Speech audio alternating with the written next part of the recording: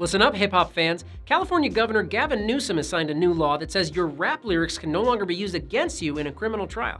Sweet, I can finally release my chart topping hip hop single, I Killed Tupac and I Have Proof.